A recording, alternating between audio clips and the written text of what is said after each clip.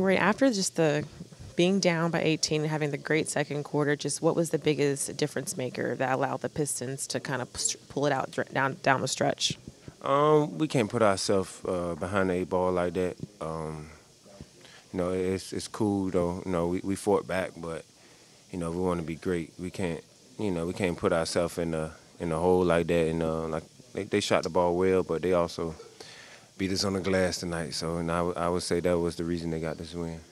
You talked about rebounding has been a thing even just last week. Just what changed for you guys that allowed them to be so effective and capitalize off the glass to get those second chance points? Um, and just um, as a, as a group, we got to find ways to help each other. Um, Clax's doing his job of protecting the rim, and we got to help him. So um, I would say as a team, we got to just do our job at a at a uh, at a, at a higher standard.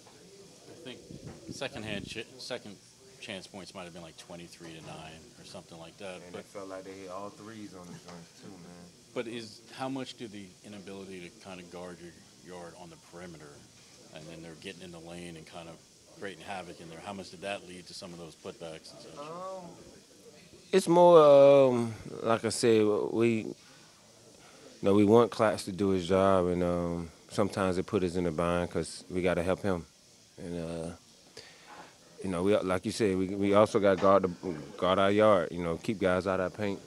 And um, I feel like um, you know you got to put two on Duren and, and Stewart, and then them guards just flying in, getting getting all them little chippies around the free throw line, and I feel like they had about four or five people with two um, offensive rebounds. So, and then uh, it was tough, you know, for me to you know crash too, because you know, they running so so well in transition that, you know, um, I couldn't be aggressive on the offensive glass. It seemed as if sometimes they didn't have an answer for the three point shooting. What was opening up and what was working so well for you guys to get those looks that you can kind of take away to build off of? Um, we were just getting stops and running. And um, Dennis, know, Mikal, uh, Dennis Smith too was just you know finding guys, doing a good job of getting in the paint and making um, making shooters' job easier. You know, shout out to Lonnie. You know, uh, he was. If you hear the way he sound, he sound terrible, and he went out there and played hard. And you know, great minutes from Noah. Noah played good too. Talk about Lonnie for someone who's dealing with an illness, the way that he's stepping on the bench. You've seen him do it before, but just like, what does that bring to, overall to the group? Um, you know, when he came in and started playing, I think it gave everybody juice. You know, um, you know him him coming out here sacrificing himself. Um, you know, he's saying F how you feel. You know, he's trying to get a win, and uh, sometimes that can electric, you know, the team.